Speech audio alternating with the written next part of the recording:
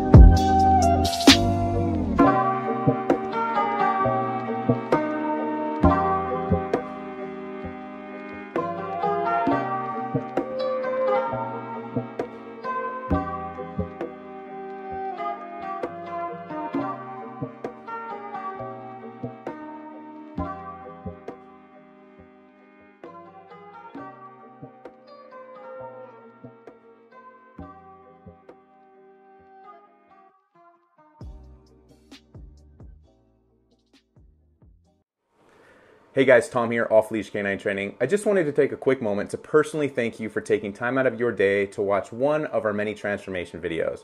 If you liked the video, if you were impressed, go ahead and give it a like. If you'd like to see more videos like that, subscribe, hit the bell notification so that you're notified whenever we do upload a video, which is almost daily. Feel free to head over to Yelp, Google, and our Facebook pages to see our many, hundreds of five-star reviews. And if you have any questions, hop on over to our website, westcoastolk9.com, or give us a call, 844 955 6559. We look forward to training your dog, and I'll talk to you soon.